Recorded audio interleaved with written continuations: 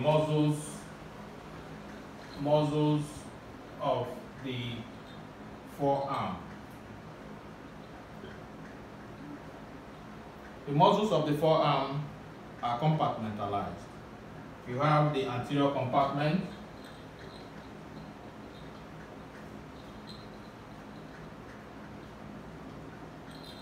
the anterior compartment, they are further divided into two groups. Have the superficial group, superficial group, and this superficial group are five in number, and also have the deep group.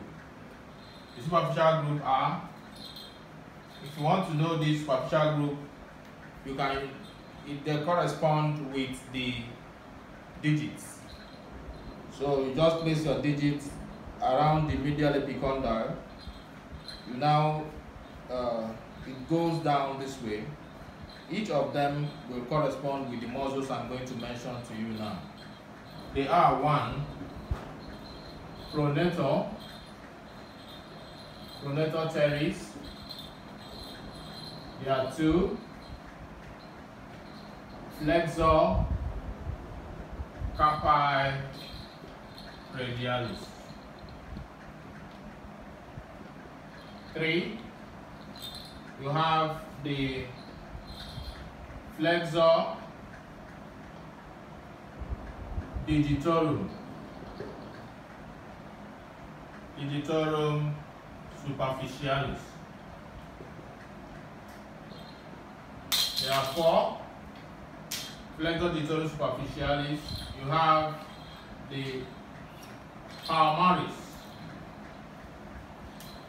palmaris longus. You also have five the flexor carpi ulnaris.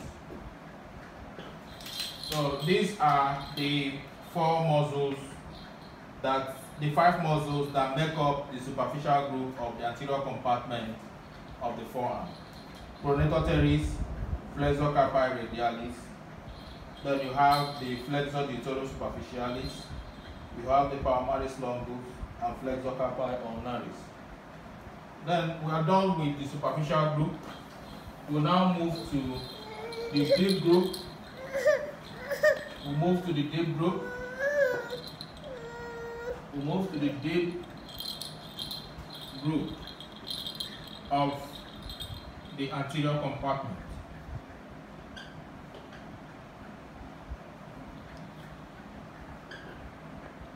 For the deep group, you have three muscles. One, we have the flexor digitorum profundus. You have two flexor pollicis longus, and you have three pronator quadratus. So these are the three muscles that make up the deep group of the anterior compartment. Flexor digitorum profundus, flexor pollicis longus, and pronator quadratus. The pronator teres and the pronator quadratus help to pronate the forearm from its supinated position. So we'll now move to the muscles of the posterior compartment of the forearm. Move to the muscles of the posterior compartment of the forearm. Posterior compartment, we made mention earlier that we have the muscles that are on the okay this is for the muscles of the posterior compartment. We also have the muscles of the lateral compartment of the forearm. Okay let's first of all look at the muscles of the lateral compartment before we go into that. Look at the lateral compartment. For the lateral compartment, there are three muscles that make up the lateral compartment of the forearm. We have one, we have the brachioradialis.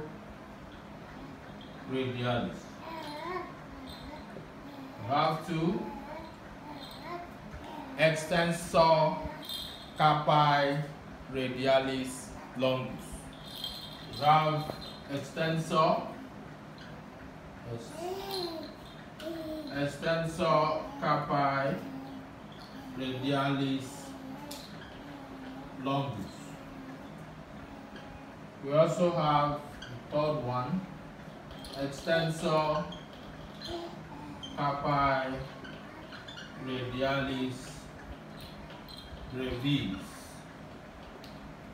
So these are the three muscles that are found on the lateral compartment of the forearm. The brachioradialis first, which took origin from the lateral supracondylar ridge, went down and sat on the radial styloid process. Then you now have the extensor carpi radialis longus. You have the extensor carpi radialis brevis. So we will now look at the posterior compartment. Posterior compartment. You have number one, Anconeus as a muscle. Two, you have extensor digitorum, extensor digitorum. You have three extensor extensor indicis. You have four extensor digiti minimi, extensor digiti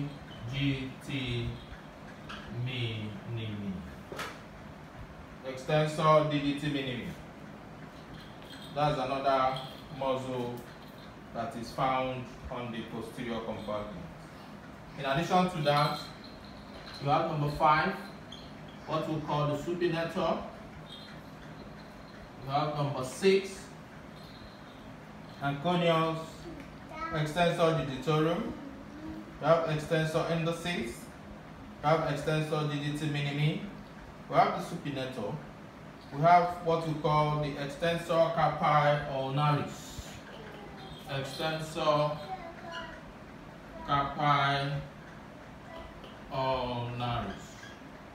Oh, That's another muscle found on the extensor compartment. Extensor ulnaris. Then you have for the ones that go to the thumb, you have number seven, you have the abductor pollicis longus. Then we also have the number eight. We have the um, extensor pollicis brevis. And nine, we have extensor pollicis longus. So we have made mention of the anterior compartment, we have made mention of the lateral compartment, and now we have made mention of the posterior compartment. I want you to note something. You can also look at the posterior compartment of the forearm via its function. There are the ones that will move the wrist.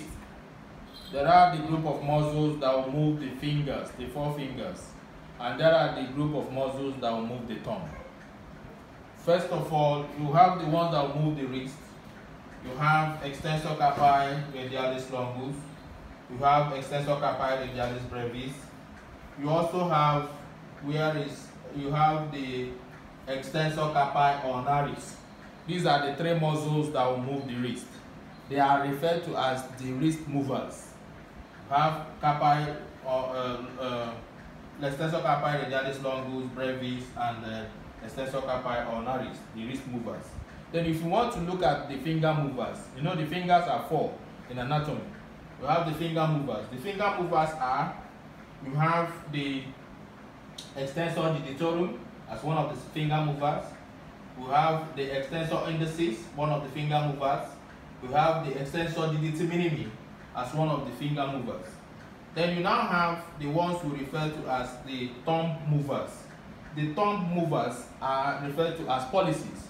The thumb movers are the abductor pollicis longus, you have the extensor pollicis brevis, you have the extensor pollicis longus. They are the thumb movers. They are the ones that form the bound boundaries of the anatomical snore box.